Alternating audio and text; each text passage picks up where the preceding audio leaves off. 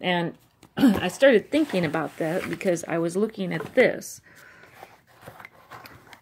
entry from September 2015 in which I tried to um, have a private investigator with a license and all of that who said he was a retired FBI agent, which I believe. I don't have any reason not to believe that. From, I think he works out of Washington, Southern Washington.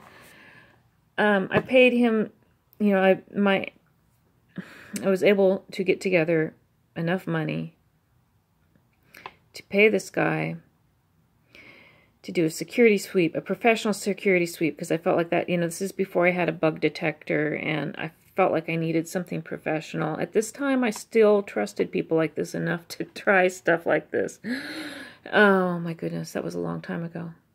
So it's now, we're talking about April 9th, 2019. Um, I would to me now to do something like this, I might have well just flush the money down the toilet. But anyhow, I paid I paid this professional private investigator to do a security sweep. So I say he used a device to detect radio transmitters and a red light device to look for cameras. What he brought in was a type of I think it's called an oscilloscope. It was a box um, with a you know dials on it. You know those um, I think it's called an oscilloscope. And um,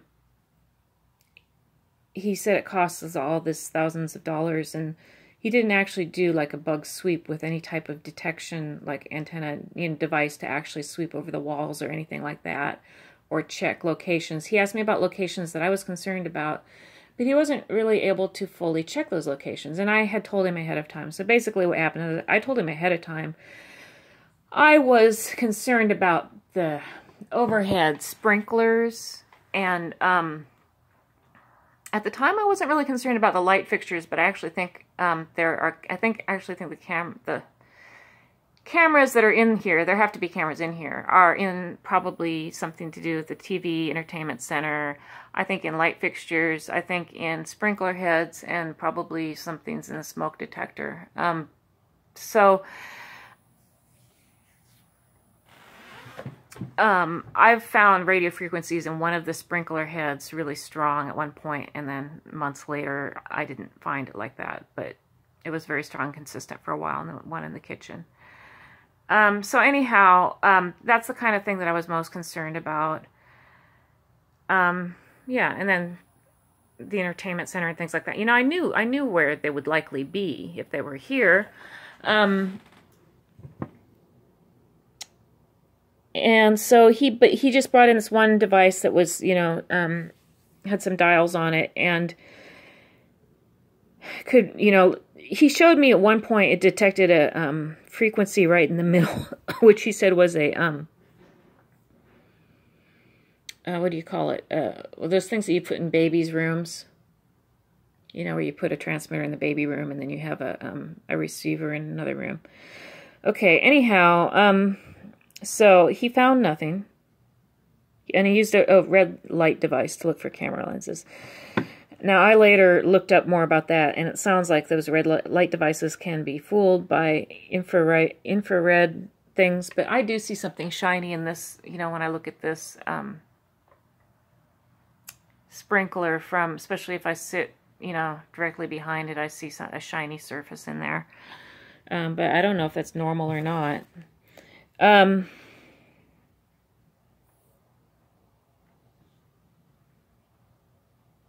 so I say he found nothing, but much of his behavior makes me think he was not behaving in a completely honest manner. In fact, much of his behavior made it clear that he was not being entirely honest with me about what he knows. So I go through this list of what I found was a problem. The date that he chose to do the sweep was 916. Okay, this was a situation where at first I was going to have him do it, and then I backed off. Um, I was kind of like, you know, the gang stalking was going on a lot back then, and I was, you know, being influenced by it, and something influenced me to back off of hiring him at first, which of course only gave him more time to work the back room angles, uh, or you know, for people to target him. And you know, of course, I was under surveillance, so you know, he didn't have to I'm sure, contact anyone. I'm sure they contacted him. Um, anyway, I rescheduled it with him again later. I decided I needed to do it. And then He scheduled it on 9:16 between 1 and 2 p.m. He said he had a meeting in Gresham, which he later said ran 45 minutes late. When I called him from for the second time, so when I called him to schedule the appointment, I've been calling from the library. I was thinking that I would avoid surveillance by calling from the library payphones, which of course isn't true. But um, he asked me to speak up while I was on the phone. So I feel like he knew I was being, you know, he knew I was being listened to and actually wanted me to speak up for that reason, or at least made me think that. Um, it could have been gaslighting, even, you know. Um,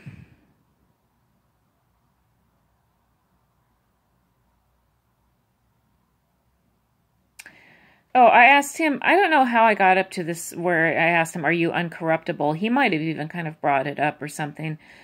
And he just said, So I had read this book called Spy the Lie, which was supposedly by a couple of, you know, intelligence people who um, know how to spot liars and talked about something called cluster behaviors and sort of a lot of behaviors that people kind of, um, in micro expressions and whatever, they're trying to avoid answering a direct question so they do other things like deflect or hesitate or things like that.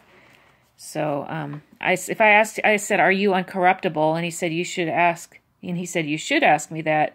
You could ask if I planted those devices."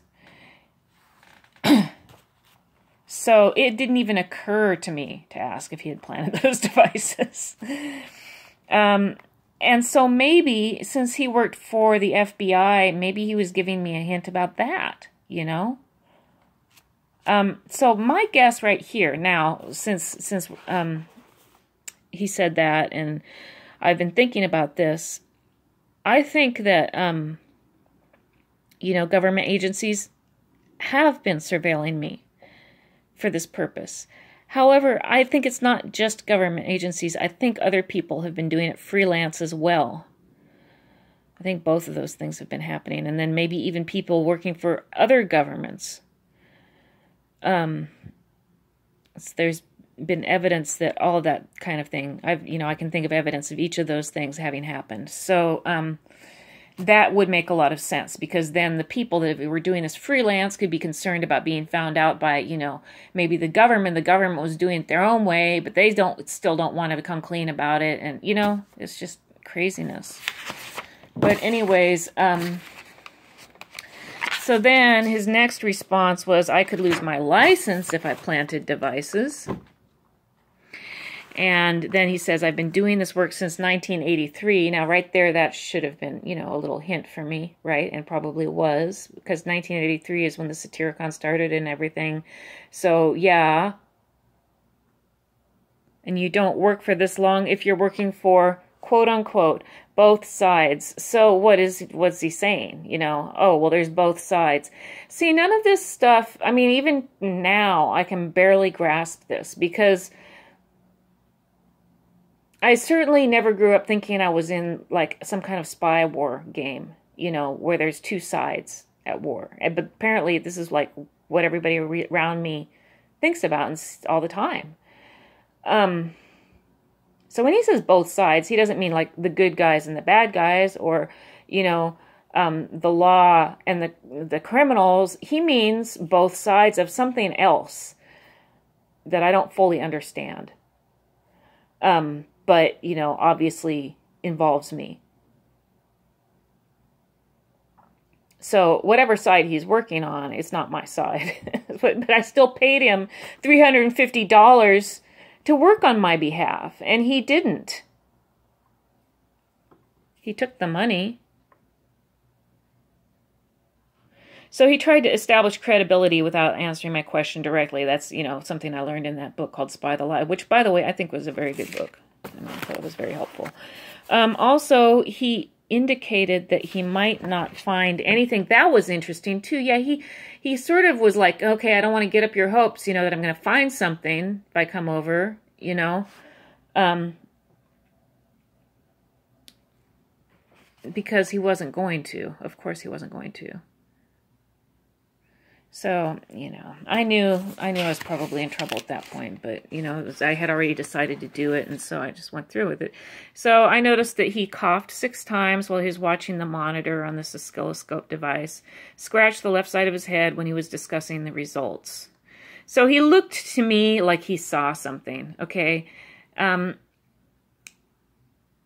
he had me. What he did is set up this machine in my kitchen. I have you know pretty small space and then um, had me play some music from the other room and watched. He watched it, so I'm not sure what all that did, but uh, in any case, um, my feeling is he did find something, even though he was trying not to. Um,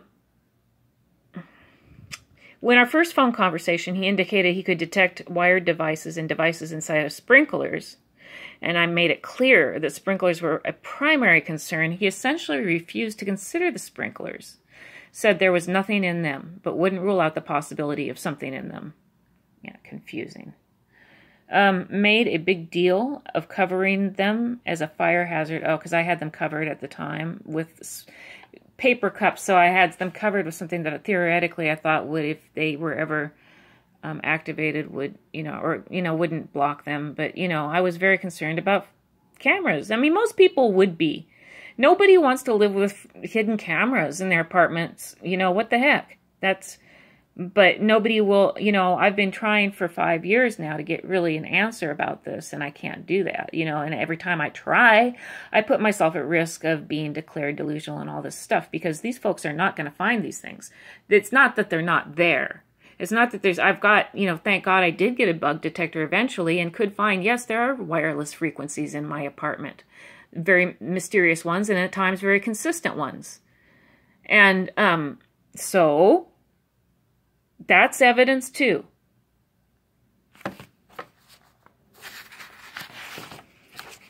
And I know I can't call the fire department because I know the fire department is involved in this too. So that's they're not going to help.